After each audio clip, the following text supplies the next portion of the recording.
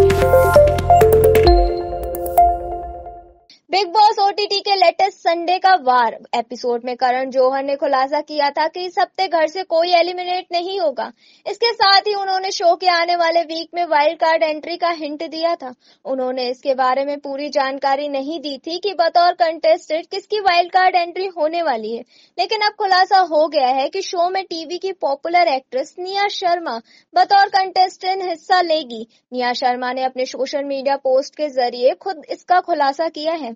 निया शर्मा ने अपने इंस्टाग्राम पर अपनी तीन तस्वीरें शेयर करते हुए लिखा, चलो कुछ तूफानी करते हैं। बीबी ओटीटी एक सितंबर को। इसके साथ उन्होंने अपने कैप्शन में दो स्माइली भी शामिल किए हैं।